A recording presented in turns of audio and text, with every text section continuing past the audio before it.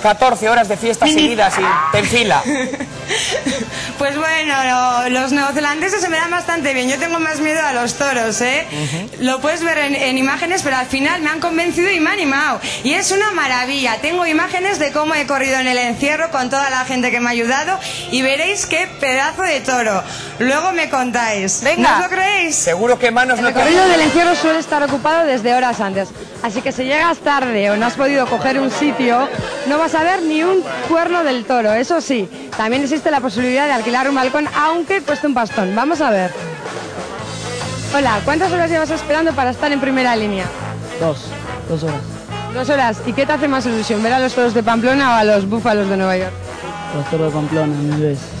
Sí. Pamplonica por los cuatro costados. ¿Cómo? Pamplonica por los cuatro costados. Por los cuatro costados. Eh, ¿Me cedes tu sitio? ¿Por cuánto dinero me lo cedes? No te lo cedo por nada.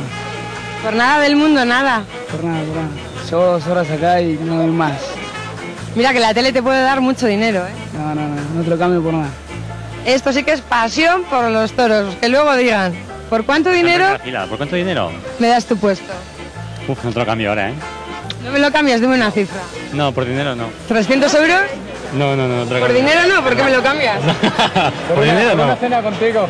Por ejemplo, esa es una Está hecho, ¿me lo cambias? sí, sí, sí. Vale, vemos el encierro desde primera fila, chicos.